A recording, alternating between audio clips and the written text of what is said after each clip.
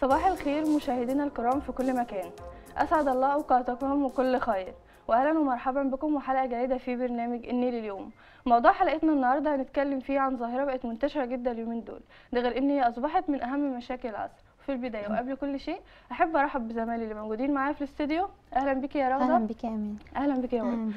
كلنا جوانا فراغ وكتير مننا بيحاول يملى الفراغ ده من الخارج. عشان كده ناس كتير جدا لجأت للإنترنت عشان تملي الفراغ اللي جواها وعشان تهرب من المواجهات ولقاء الناس. وبالطبع أصبح الإنترنت غطاء رائع للخجولين بيستطيعوا من خلاله إن هم يتواصلوا مع العالم الخارجي أو العالم الافتراضي اللي هم وهبوه لنفسهم. وعلى الرغم من إن الإنترنت أصبح من أكثر الوسائل التكنولوجية أهمية في الوقت الحالي لما له من إيجابيات وفوائد كثيرة لا يمكن الاستغناء عنها في معظم المجالات إلى أنه يمكن أن ينعكس على مستخدميه ليتحول إلى إدمان بمعنى الكلمة.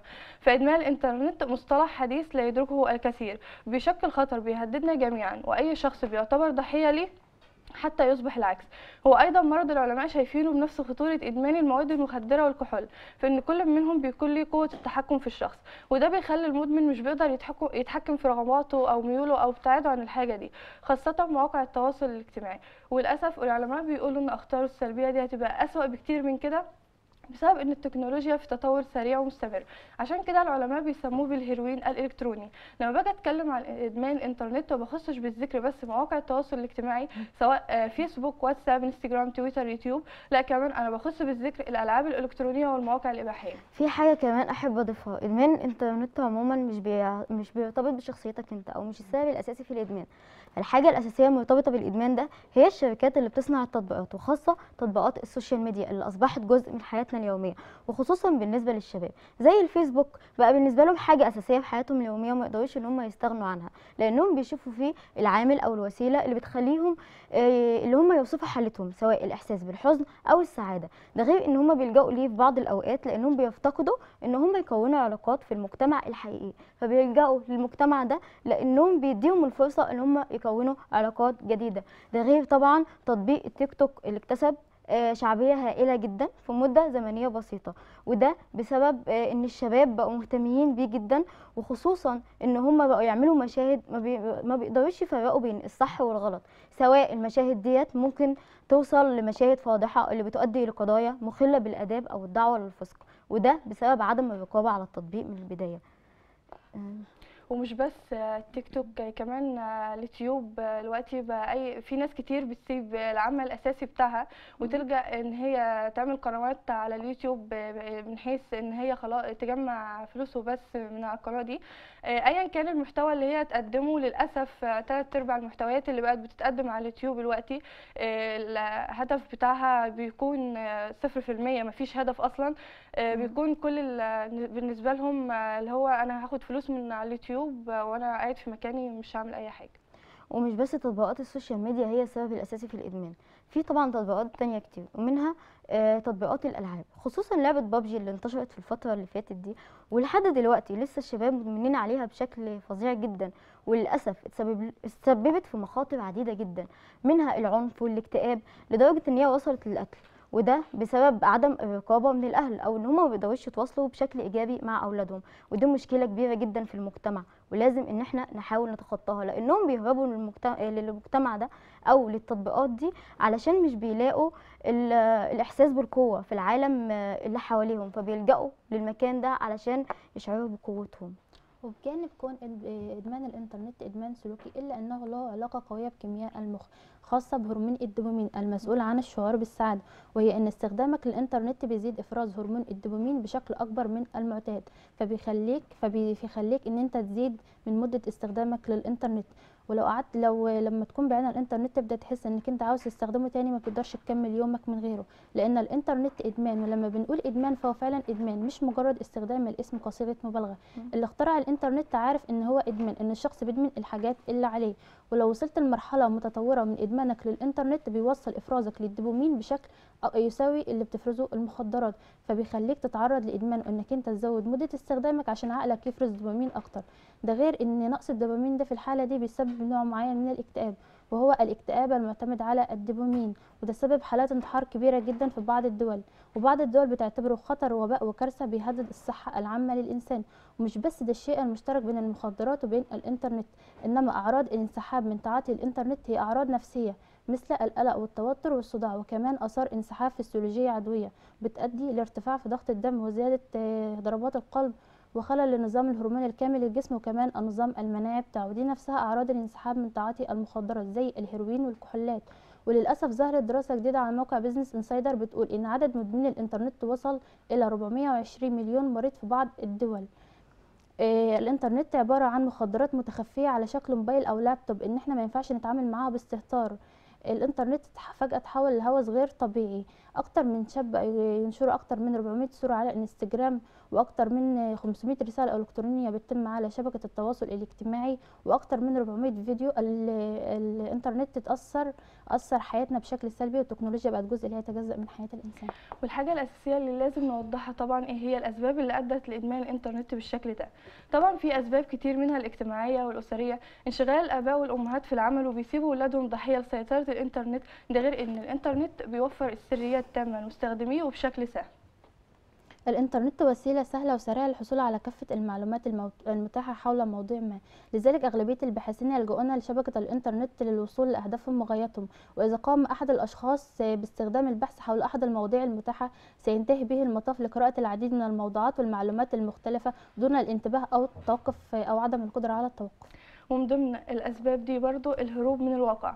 ناس كتير جدا بتلجأ للهروب من الواقع. العالم الافتراضي كنوع من التخلص من الأفكار السلبية والواقع السيء وضغوط الحياة اليومية. والأشخاص اللي بيبقى عندهم اكتئاب دايما وفي توتر آه، بيحسوا إن هم ملهمش مكانة في الأسرة أو ملهمش مكان بين الناس اللي موجودين فبيضطروا إن هم يلجأوا للإنترنت آه، أو حد مر بتجربة فاشلة في حياته آه، وأيضا التعبير عن الذات. آه، في ناس كتير بتقول أنا بعبر عن ذاتي على الإنترنت أنا بخرج من العالم الحقيقي اخش في العالم الخارجي العالم الافتراضي العالم اللي أنا مش عايز أي حد يعرف عني فيه حاجة أنا إحساسي في الوجود بيكون في العالم ده.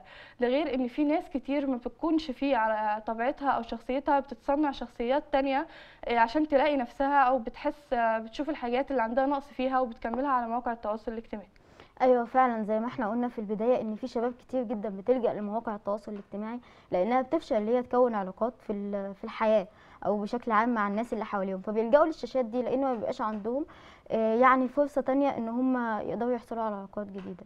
طب إيه هي علامات آه، إدمان الإنترنت أو إيه هي العلامات اللي نقدر نقول بيها إن الشخص ده مدمن؟ إن إحنا أصبحنا نمتلك هواتف متطورة وده بيكون لها القدرة للدخول على الإنترنت.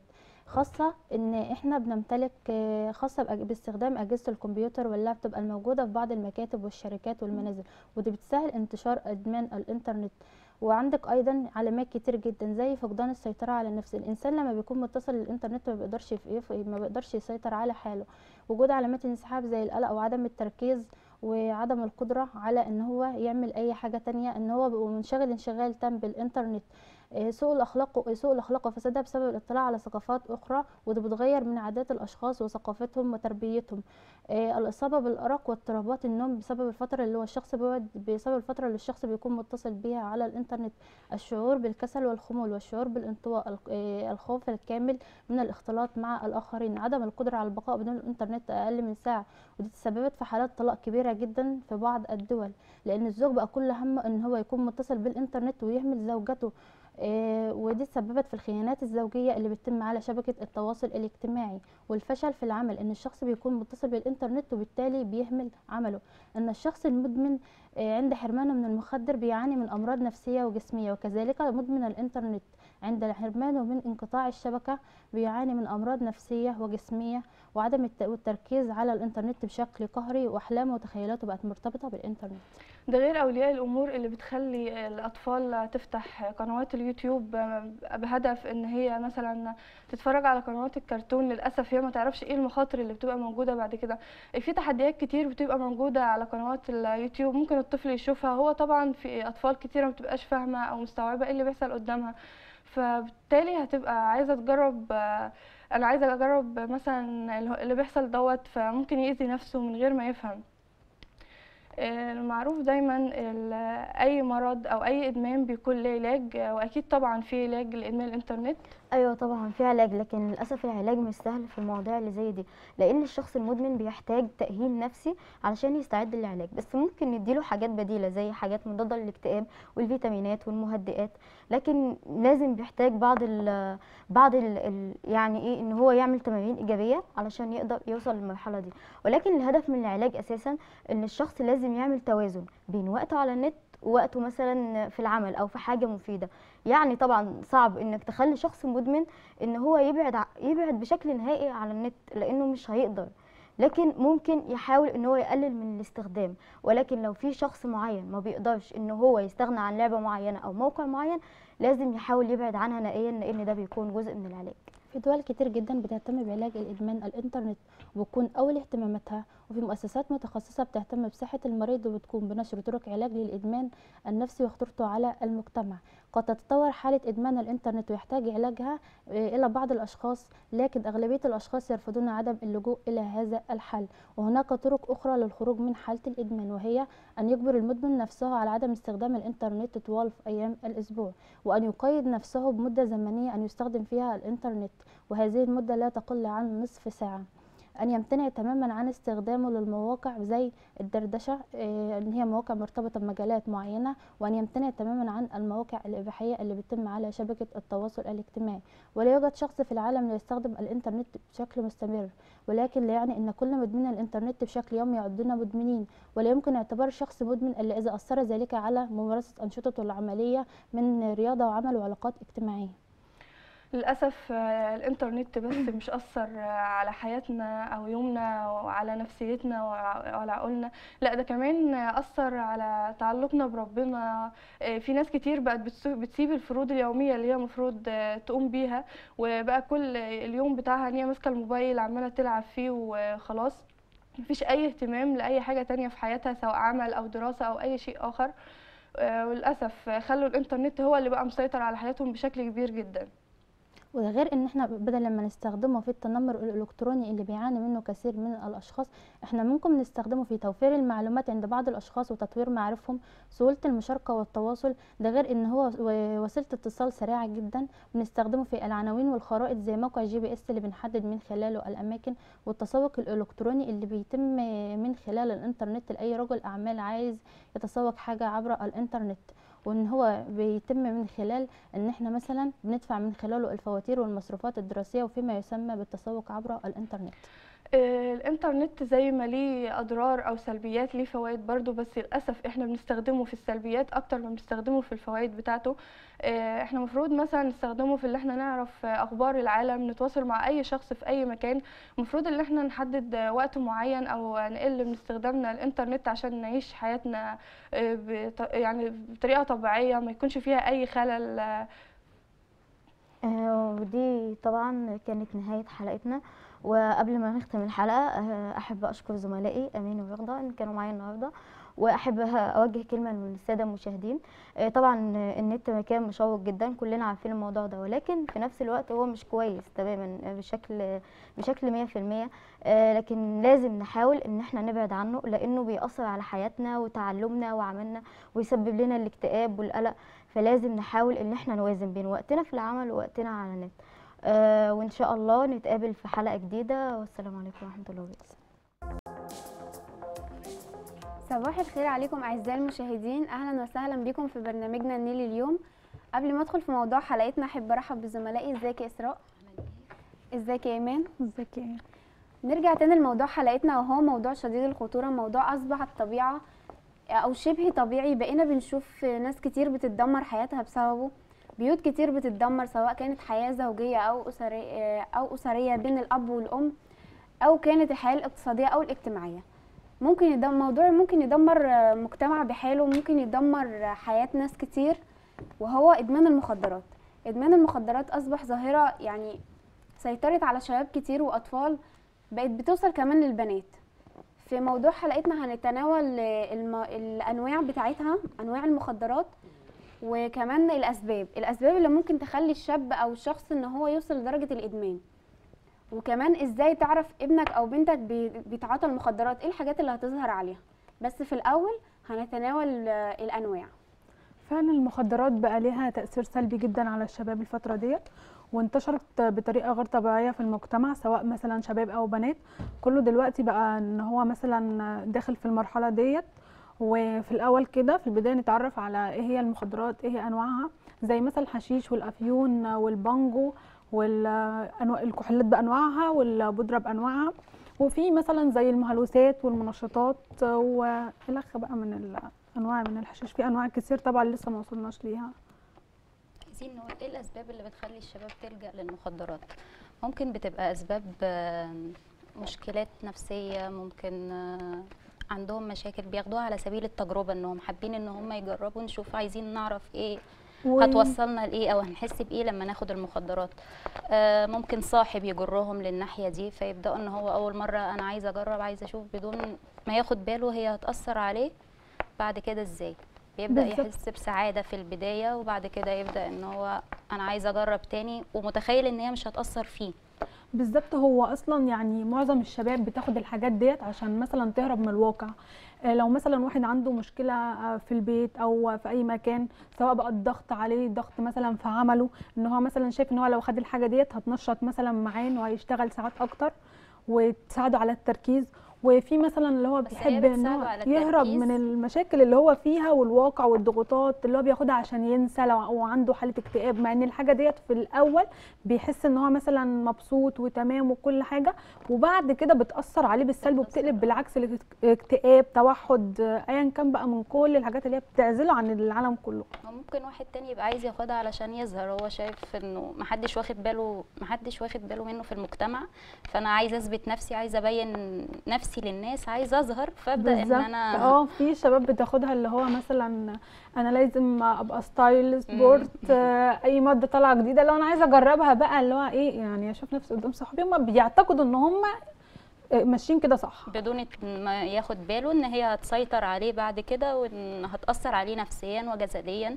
بالظبط، يبدأ آه. يتأثر يدخل في حالات اكتئاب يدخل في هلاوس آه، خوف عنده دايما خوف هلع عنده انفصام في الشخصية. بتفصله تماما عن الواقع في الحالة اللي هو بيبقى بالظبط. وقت ما بيبقى واخد هو المخدر. للأسف ما بيبقاش متوقع إن هي بعد كده هتدمره. هو بيبقى حاطط في دماغه إن هي ممكن تنسيه ممكن تخليه شوية يضحك تديله شوية نشاط شوية طاقة. لكن بعد كده بتأثر عليه اللي هو ممكن تخليه جثة هامدة أصلا بيبقى شخص مسخ ملوش ولا شخصية ولا حتى مبدأ. يعني آه. حتى ملامحه بتتغير بيبقى حتى ليه تشوهات وليه حاجات بيعمل في منظره بيعمل في حاجات كتير قوي في حياته. بتأثر ما عليه جسديا لأي- جسمه بيتدمر. يعني أنا دلوقتي دي تحصل له مثلا خلل في خلايا المخ تلف في خلايا المخ نوبات قلبية ممكن تحصل له انسداد في الشرايين. ال- آه. بتأثر على الكبد. آه، بتأثر على العين بتلاقي احمرار بتلاقي دايما اللي هو إرهاق تحت العين بيعجز؟ بدري أصلا أيوه. ملامح الوش نفسها وبتأثر على الجهاز التنفسي وكمان يعني بيفقد حاسة الشم بتعمل هو إيه عارفة نزيف حاد. فهي بتأثر عليه وفي برضو مظاهر خارجية زي مثلا هو شكليا أو مظهره زي ما قلنا العين واحمرار وغير كده إن هو مثلا بيحس ب ايديه مثلا مش قادر يمسك حاجة مش قادر يتملك أعصابه وعنده دايما رعشة هو في دايما بيحصل له. خمول هو أنا أصلا المهدئات والمنشطات بتعمل رعشة مع مع الاستمرار عليها كتير بتعمل رعشة في الجسم وفي الأعصاب بتخلي أصلا ما فيش أعصاب إن أنت تقدر تمسك حاجة إلا لما جسمك بتلاقيه بيترعش مش. قادر تظبطه فهو بيحصل له خمول بسبب المخدرات وبيبدا إن هو يعني مثلا الت- الترامادول دوت نازل إن هو مثلا ده علاج لحاجة معينة. الناس دلوقتي بقت تستخدمه كنوع من الإدمان اللي هو مخدر إن هو ياخده ينام مع إن دوت أصلا نازل في الأساس إن هو مثلا مادة معالجة لمرض لو معين آه أو لو حاجة اتاخدت آه، غلط في بتبقى أطفال بتبقى مولودة عندها صرع وفي كهرباء زيادة ده أصلا فبيبقى علاج تحت. إشراف طبيب لازم إشراف طبيب ما ينفعش ياخدوا المفروض كده أصلا. الصيدليات ما تنزلهاش غير. بروشتات بس في ناس بقى للأسف، آه. آه، يعني في. ناس بتحصل معاهم إيه؟ اللي هو إيه مثلا زي صدمات صدمة حصلت له موقف أي حاجة بيبتدوا ياخدوا اللي هي المهدئات دي بقى واللي هو إيه باستمرار فاهمة اللي هو أنا عايزة أتخلص اللي هو أنا هو هاخدها مفعولها راح برجع أخدها بيدمنها أنت. بتعمل إيه طيب هو أنت مش. بتحل مشكلة أنت. بتعقد مشكلة آه، ده غير إن مثلا لو واحد مسؤول رب أسرة وبياخد مخدرات بتأثر على الأسرة بتاعته يعني تمام بالظبط يعني عايزة أقول لك مثلا يعني اللي قاعد جنبك بياخد أكتر من اللي بيشرب سواء لا ده غير إن هو كده إن هو أصلا بيرمي المس... يعني ما بيتحملش المسؤولية بي... بيبدا بقى خلاص أنا هو في عالم تاني هو منفصل مبيبقاش واعي أصلا آه، لاي هو منفصل مسؤوليات عن الواقع. في حياته بيهمل في أولاده وفي مراته بيهمل في كل حاجة حتى لو ما كانش متزوج يعني مع أهله برضه. بالظبط آه. يعني عايزة أقول لك رغم إن هي أصلا بتعمل خمول يعني عايزة أقول لك في ناس بتبقى شغالة في شركات وقاعدة اللي هو إيه بقى عارفة شفتي مثلا تقدري تمشي العربية من غير بنزين اللي هو أصلا ما. بيقدرش يشتغل إلا غير لما طول ما هو قاعد ياخد المادة دي وشغال تمام مركز ماشي خلصت جالي فاهمة انت وأرجع أخدها أصل تاني هي بالظبط. خلاص سيطرت عليه وعلى جسمه وعلى عقله هو حتى لو عايز يبطل مش هيقدر يبطل مش هيقدر إلا جداً. لما ي... خلاص أنا قررت أتعالج أو حد من أهله قرر إن هو يعالجه لازم يروح لمصحة أو مكان يتعالج عايزة فيه آه يعني في النقطة دي عايزين برضو نتكلم ونقول مثلا إزاي تعرفي لو ابنك أو بنتك بيتعاطى إيه العلامات اللي ممكن تظهر عليه اللي هي آه. العلامات البدائية آه إن آه هو وأصحابه مين واتغيروا وكده آه يعني أقولك- لازم آه. الأم والأب ياخدوا بالهم من تصرفات ابنهم في البداية أنا لو حسيت إن ابني سلوكه اتغير يعني بدأت تصرفاته اختلفت أصحابه. اتغيرت حصل لخبطة في نومه النشاطات الاجتماعية بتاعته اللي كان بيعملها بطل يعملها آه، خروجاته ما بقى منعزل عن العالم. أبدأ أخد بالي و... لأ هنا في حاجة غلط لازم أقف لازم أرجع لابني وأبدأ أشوف الدنيا فيها إيه. ده غير إنه بيبان عليه كمان جسديا الأعراض كلها بتبان يعني هتلاقي دايما عينيه دايما فيها إحمرار في إرهاق في النوم قلة تركيز بيبقى في حاجات كتير قوي ظاهرة عليه يعني وكمان تقريبا مش قلة تركيز هو التركيز بيبقى بينعدم، منعدم. آه. عايزة أقول لك أصلا إن هو في البداية أول ما يبتدي ياخد المادة ديت أنت هتلاحظي عليه إزاي إن هو في البداية تلاقي مثلا عنده استفراغ استفراغ على طول هو ده مش طبيعته أساسا مم. تاني مثلا حاجة تلاقي العلامات ابتدت تظهر على وشه لو هو مثلا بياخد اللي هو الحقن فطبيعي إن أنت مش هتلاقيه مثلا بيلبس بكم عشان بتعمل حساسية في الجسم ودي هو يبقى بتظهر خايف إن حد يشوف. الندبات آه. اللي عنده هتلاقيه مثلا تيجي تقول له يلا نخرج في حفلة عندنا فرح قرايبنا هيقول لا، لك لا هينعزل. أنا والله تعبان أنا عايز هيبتدي يتهرب من مم. أي خروجة أو أي مكان أو أي تجمع رايحه بحيث إن أنت ما تاخديش بالك فاهمة آه. فانت في الحالة دي قوي لازم تركزي لازم مع ابنك أو بنتك أبدأ أشوفه آه أبدأ أشوف أنا واقفة مع لحد. فين وأبدأ إن أنا صاحبه بقى وأبدأ إن أنا هو هنتفق إن هو مش يعني مش هيقبل في الأول آه، وخصوصا لو كان مراهق آه في أباء وأمهات بيشدوا قوي في الحتة دي بس هو ده غلط غلط. بقى. دوت غلط لأن مثلا لو أنا لقيت آه، أمي أو بابايا بيقسى عليا في حاجة زي كده وبيمنعني وأنا أصلا ما عنديش الإرادة ما عنديش ان أنا أعمل كده آه. فأنا بالتالي هحاول بأي طريقة إن أنا برضو ألجأ للحاجة اللي أنا باخدها عشان تاخدها إيه من وراهم آه. خلاص هو فعلا. لازم يكون مقتنع إن هو من جواه لازم يتغير إن هو كده بيتدمر ومستقبله بيتدمر وحياته كمان بتتدمر لو ما اقتنعش الإنسان لو ما اقتنعش بأي حاجة مش خلاص هيعملها مهما أنا حتى لو أنت وديته غصب عنه مثلا مصحه أو لدكتور هيهرب مرة بس ممكن ما. اوديهوش غصب عنه أنا لو عايزة أعالج ابني أنا ممكن ألجأ لحل تاني ممكن مثلا إن أنا أوديه لطبيب نفسي الأول يصاحبه ويبدأ مش لازم أعرفه إن أنا. رايحة لطبيب أنا- نفسي. فاهماني آه اللي هو أرقي معاه العلاقة آه. الأول. فاهمة اللي هو أنا أصاحبه أبدأ أصاحبه أو أخلي حد أجيب المعالج النفسي. يصاحبه يسمع لي. هي دي تقريبا أهم حاجة أصلا في العلاج في أول الطرق آه، بتاعة العلاج إن هو لازم يسيطر عليه علشان حتى يبقى هو من جواه عارف إن هو كده بيحاول يتخلص من السموم اللي جواه وبيحاول إن هو ي- يأمن حياته زي ما كانت في الأول. ما هي دي بقى بتيجي رغبة ال- المدمن نفسه إن هو عايز يتعالج. ماشي لو المدمن ما عندوش رغبة يتخلص. أصلا هو ما عندوش رغبة إن هو يتعالج هو مش عايز يتعالج. أنا هو إزاي؟ أنا كأم أو أب اساعده إزاي؟ هديله مثلا لو إيه تكتيك إن هو يبتدي لازم أفكر يستجيب، ولازم آه، أشوف، آه. يفكر يبتدي يفكر في مستقبله شوية يبتدي ينسى اللي فات يعني خلاص ضيعت من عمرك دوت تعالى بقى يلا امشي في طريق صح حاول إن أنت تغير من نفسك حاول تبقى أحسن حاول تبقى شخص ناجح ولازم أفهمه آه، إن أنا بالظبط. معاك أنا مش ضدك ماشي خلينا آه، ماشيين في طريقك غلطت طيب إيه اللي هيحصل غلطت مش غلطة خلاص عدت مم. إحنا في اللي جاي بقى يعني اللي هو صاحبه، لقدام آه. آه بالظبط كده المشكلة إن هي لما بتسيطر عليه يعني هو مش بيبقى من أول مرة آه، خلاص خد المادة دي أو الجرعة دي فخلاص بقى مدمن. هي. الإدمان بيبقى ليه كذا درجة. بتبقى مراحل. آه بالظبط. يعني أول مرحلة بتبقى التجربة. أنا عايز مثلا عايزة أجرب ما الحاجة دي. بيبقاش على فكرة ما بيبقاش متخيل إن هي ممكن في يوم من الأيام تسيطر عليه. هو لأ, لا أنا استحالة إنها متخيل. كده مش هيجربها مش أصلاً. هيجربها أنا ما هو لما جربها في الأول لأ هو لأ بس هو متخيل وهو بيجربها إن أنا لما عاوزه أبطلها في أي وقت هقدر أبطلها.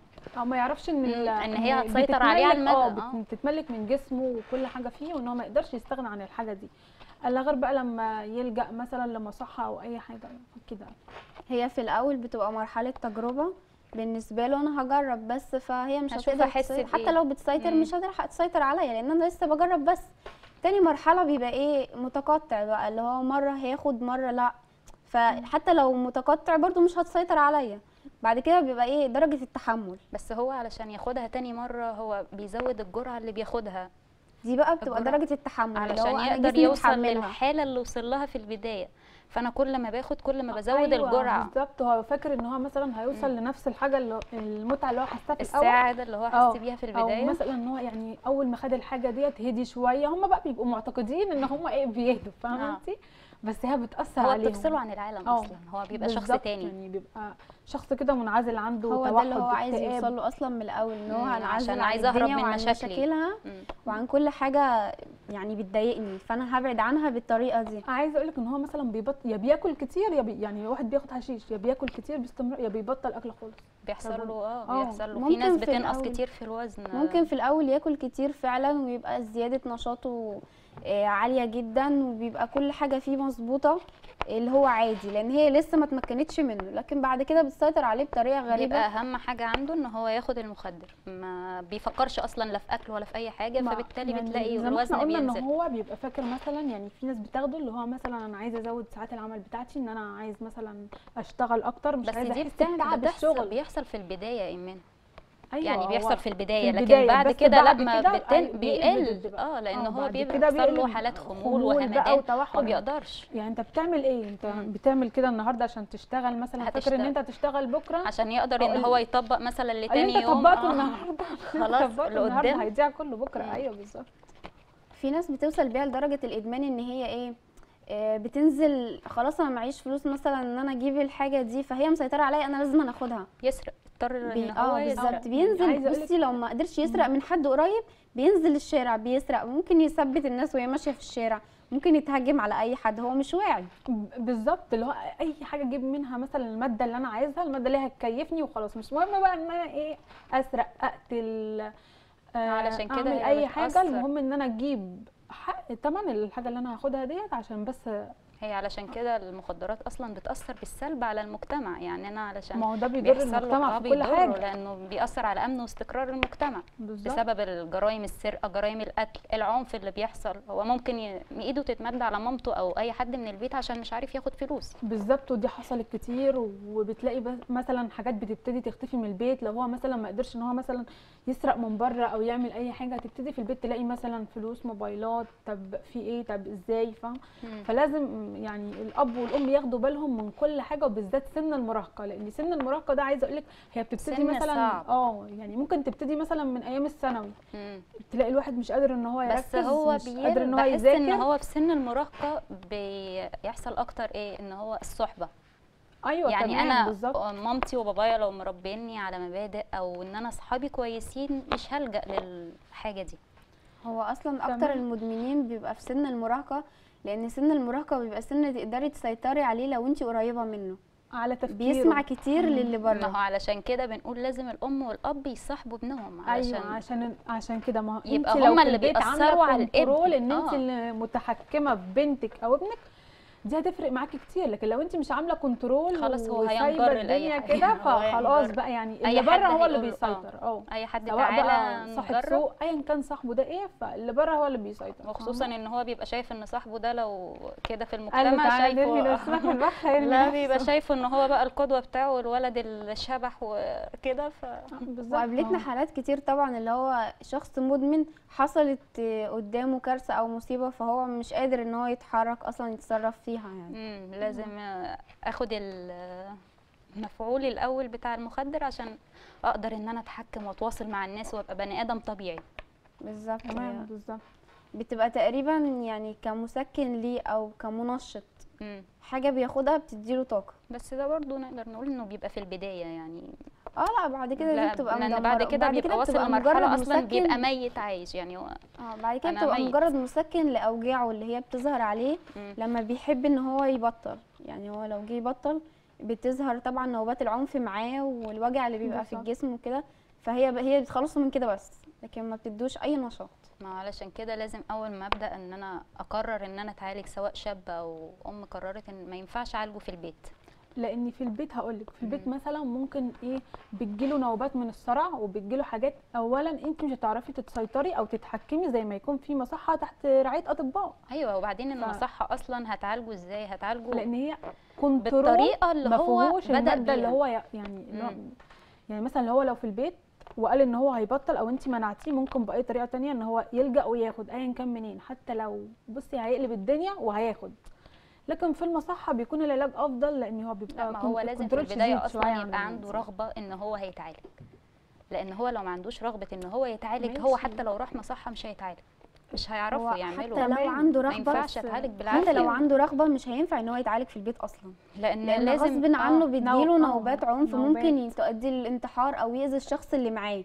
فهو لازم المصحة لأنه محتاج مراقبة دايما الأهل مش هيبقوا على قدر واعي بالحاجات اللي المفروض تحصل عشان أبدأ أخرج السموم من جسمه اللي دخلت جسمه فأنت المصحة هي دورها كده بتخرج الأول السموم من جسمه وبتبدأ إن هي بتدي جرعات قليلة يعني ما بتجيش تقطع مرة واحدة أنا لازم. الأول أبدأ أدي جرعة آه، قليلة زي زي ما ما دخل في بدأ الجسم زي ما بدأ زي آه. ما دخل في الجسم واحدة واحدة مم. بيبتدي كده يبدأ آه آه يتخلص منه حتى واحدة بنشوفها واحدة. في الأفلام والمسلسلات لو شخص مدمن ووالدته عايزة اللي هو يبطل بتسأل الدكتور يعني امنعها آه. مرة واحدة بيحذرها اوعي تمنعيه عنه مرة واحدة هتاجي ممكن هتاجي معاه بالسلب آه بالظبط وبعدين ممكن ت- تؤدي للوفاة مرة واحدة وفي حاجات تانية كتير برضو بتظهر عليه يعني إحنا ما اتكلمناش عنها والتأثيرات آه، اللي هي عضلة القلب. دي بتنتهي تقريبا. أيوه هي بتأثر الشرايين على- بتتسد. انت والطحال لو والكبد بتشرب سيجارة عادية الدخان لوحده إحنا كلنا بنشوف الصور بتاعة الرئة على علب السجاير يعني هي بتبقى صورة بصراحة فظيعة. بشعة تبقى صورة دخان. عادي بيعمل كده سواء كان دخان بقى سجاير أو شيشة أو الكلام ده. بس. بتبقى حاجة دخان عادية ده غير إنه بيحصل له مش سموم زي دي. اما السموم دي بقى بتبقى إيه نظامها في الجسم ده غير إنه بيحصل له أصلا فشل كبد وتلف في وظائف الكبد هو الكبد وظيفته إن أنا. أخلص السموم اللي في جسمي فما بالك بقى لما تكون أنا بدخل سموم أصلاً. زيادة. أصلا فخلاص بيحصل له سرطان رئة يعني عايزة أقول لك مثلا أنت لو سمعتي إن في ناس كتير طلعت وقالت إحنا كنا بناخد كذا وكنا بناخد كذا وكنا بنحس بأعراض كذا وبعد كده لما اتعالجنا لقينا الدنيا بقت أحسن قلنا إحنا إزاي كنا بنفكر بالطريقة ديت؟ إحنا إزاي كنا فاكرين إن الحاجة دي هتقدر تخلينا نعيش ونكمل؟ إزاي؟ آه إزاي يعني الحاجة ندموا دي إن هم لجأوا للحاجة دي من البداية. مم. هو إزاي أنا ما فكرتش أصلا في حل مشكلتي من البداية؟ أنا ليه اخترت الطريق السهل؟ هو كده الشاب بيروح بالظبط. يختار الطريق السهل لحل مشاكله. طيب ما هو ده مش حل هو هيأثر عليك بيبقى هو بيبقى من بعد كده اللي أنت فيه يعني بيبقى المشكلة كلنا عارفين الحياة مش كلها مثلا حزن ومش كلها فرح يعني يوم. كده ويوم كده حتى لو. في مشكلة مهما كانت كبيرة بتنتهي مم. فأنت بقى باللي أنت بتعمله ده أنت بتكبر المشكلة اللي هي مش هتنتهي هو أصلا لو فكر في حلها من البداية ما كانتش خدت معاه الوقت بتاع بالظبط هو لو فكر فعلا في حل المشكلة نفسها مش اللي هو يهرب هتاخد منها وقت معاه آه يعني المواجهة أنا نفسها حل يعني. مش اللي أنت بتهرب بحاجة تانية ما هو بيبقى فاكر كده يعني مثلا أنا دلوقتي حصلت لي صدمة معينة في حياتي اللي هو أنا عايزة أتخلص منها. طب أنت بتلجأ لحاجة تانية هتضر حياتك أكتر وأكتر. طب ما تواجه الصدمة. حتى كل الناس بصي بتمر هاتيلي حد كده ما مرش بتجربة صعبة أو صدمة أو أي حاجة في حياته. قوة بس الشخصية. أيوه قوة الإرادة. مين. عنده إرادة يكمل ويعني عنده إيمان بربنا ويقين إن هيحلها في وأنا لو متربي على صبري. مبادئ أنا لو الأم والأب مربين أط- أطفالهم على مبادئ إن حرام وغلط والصح والعيب مش هيعمل بالظبط، مش مش هيلجأ مش هيلجأ. هيبقى ده أول طريق ليه يدخل فيه. بالظبط هو مش هيخش الطريق ده. مم. وبعدين برضو لازم الواحد ينقي بيئة إيجابية يكون فيها. بالظبط لاولادي أنا لازم بيئة بتختلف. صالحة. آه يعني. البيئة نفسها ممكن تكون سبب في الإدمان على فكرة اللي هو أنا بالظبط. آه، نشأت في البيئة دي. فأكيد هطلع ممكن زيها. واحد يعني ممكن واحد صاحبي يقول لي إيه طب ما تاخد تجرب ما تاخد عشان تبقى يعني هما بيقولوا لبعض تاخد عشان تبقى ما هي آه هي. دي اللي في البداية لما اتكلمنا في البداية بنقول لك بيبقى على سبيل التجربة عايزة أقول لك في واحد ممكن إن هو يقول لك كده بس هو أصلا من جواه عايز يبطل ومش عارف بس مش حابب يشوفك تبقي أحسن منه انت فاهمة وجهة النظر في إيه يعني لا في بنات كمان على فكرة بقت مدمنة دلوقتي بطريقة فظيعة يعني بقينا بنشوفها كمان مش بقت حاجة غريبة لأ بقينا بنشوفها بعينينا. أيوة، أنت ممكن تلاقي الواحد ومراته عادي فاهمة؟ طب ما ده ممكن يأثر على الجنين وتشوهات وغيره وغيره وغيره. ده غير إيه الواحد طيب؟ ومراته آه. معلش. يعني أنا المفروض أب وأم قدوة لاولادي إزاي؟ بالظبط. إزاي ياخد مخدرات نفسهم مش وأبقى خايفين على مش خايفين على حياتهم. تفتكري هيخافوا على أولادهم؟ بس اللي ما بيخافش على نفسه مش هيخاف على حد. بتبقى ناحية الرجالة أكتر بحسها كده. آه لأ بس مم. هي يعني إيه البنات النسب منهم أصح. شوية. اللي هي برضو هروب من المشاكل ممكن آه زيادة فراغ. الحياة. بالظبط. ما هو ال- يعني الرك والاساس كله بيبقى على الأب والأم. أنت ممكن تلاقي الأب بيشرب وكل حاجة والأم عاملة كنترول يعني حتى لو بس ابنها بتأثر. بيبص بتأثر عليه بس بتأثر آه يعني يعني بتأثر على الطفل. بالظبط. وبتأثر على الأسرة هي الأسرة بتنتهي أصلا. بس انت إزاي أصلا يعني يا ماما يعني هو يجي يا ماما انت إزاي بتقولي لي ده غلط وبابا وبابا بيعمله؟ بيشربه آه أو بابا بيعمله. أي الطفل الصغير برضو مش ده غير مدرك أصلاً إن- قوي إن هو يف يعني ياخد يستجيب لكلام مامته ادامه في سن صغير. ده غير أصلا إن كانت يعني لو الأم ده كملت إحنا كده بنتكلم لو الأم عرفت تكمل معاه لأن هو واحد بيشرب آه مخدرات. ما هو ممكن يقوم مثلا يضرب هو ممكن أصلا يقوم يتعصب عليها يضرب أكيد ال- بيحصل حالات آه. من دي كتير ضرب وعنف حالات العنف اللي ما هو إحنا بتحصل بنشوف حالات الطلاق واللي بيحصل يعني معظمها هتلاقيها سبب. كده آه بتبقى أسباب بتبقى أسباب. زي ديت بتخليه مثلا إن هو مش قادر إن هو يتملك نفسه في وقت غضب ساعة غضب حتى لو هي ما عملتش حاجة أو ما فيش مشاكل في البيت لا وكمان بيحصل هو أزمة مادية في. البيت فدي كمان بتبقى سبب من أسباب بتبقى المشاكل الحاجات دي بتعمل. تقلب بصي هو يعني. في أصلا يعني معروفة في. ستات كتير ممكن تتحمل معاكي الظروف ممكن تتحمل معاكي معلش لو اتحملت لا بس لو اتحملت سنة لا اتنين تلاتة تتحمل مش في وقت هتكمل. عادي لكن مش هتحمل الظروف علشان أنت مثلا. مدمن مخدرات أو بتجيب حاجة علشان دماغك أنت بس. ونسينا إحنا انت ممكن تلاقي واحد أصلا حد يعني اللي يستحملها. هو انت مش قادر تكفي بيتك و... وعايز تجيب المادة دي. ما هو كلهم بيبقوا بقى كده. ومش مهم الأسرة ولا مصاريف بيت ولا ولا أي حاجة. لو الأسرة أصلا ماديا كويسة بيبدأ تقل بتقل مادياتها أيوة بسبب بتوصل معاها المخدرات لدرجه الإفلاس على فكرة يعني بتبقى شخصية آه، عايشة في في بيئة متوسطة. مم. ففضل يصرف يصرف يصرف على الحاجات دي. بيقولك بيجي مرة بيقولك ده هي سجارة هشربها. سيجارة في سجاره خلاص الموضوع بيتطور معاها آه بالظبط. فهو بقى من الناحية دي بقى بيبتدي مثلا جرايم سرقة ايا كان إيه بقى ده ما هو ظروفه المادية مش سامحة له إن هو يجيب الحاجة اللي هتكفي حاجته. وبتأثر على فاهمة؟ أولاده. أنا لو مدخل ولادي في مدرسه مدارس خاصة أنا ماديا الظروف بتبقى زي الزفت غصب عني برضو اللي هو مم. آه، ينفع آه، الشخص بيختلف معاه مدة العلاج من شخص لآخر آه ده بتختلف فعلا. بالظبط. بس هي عامة بتبقى من شهر لست شهور. مم. على حسب على هرمونات حسب الجسم. لا وعلى آه، حسب نوع وعلى حسب المخدر اللي بياخده وعلى حسب الشخص نفسه. ما أيوه على تختلف من شخص آه لآخر. على حسب هرمونات الجسم. في واحد تلاقيه مثلا ما بيستحملش آه في ناس مثلا الحاجات دي بت- بتتعب معدتها آه بتتعرض لأعضاء يعني أعضائها نفسها بتلتهب. بيحصل لها مثلا انسداد في الشرايين زي ما قلنا. مم. آه تلاقي العين احمرار في العين. في ناس مثلا الحاجات دي بتعمل عمى عندهم. كتير من تمام. ال آه بالظبط. للأسف وقت حلقتنا انتهى. أه، أحب أشكر زملائي. أه، شكرا يا إيه شكرا يا إيمان. ونقول نصيحة لكل أم, وأب يا ريت نخلي بالنا من أولادنا ولكل شاب بلاش تلجأ لحل آه، مشكلتك بإنك تروح للطريق الأقرب. يعني حاول تفكر وتاخد وقتك في التفكير وتفكر وتحل مشكلتك بشكل صح علشان تنتهي بشكل صح معاك. ونشوفكم في حلقة جديدة من برنامج النيل اليوم. والسلام عليكم ورحمة الله وبركاته.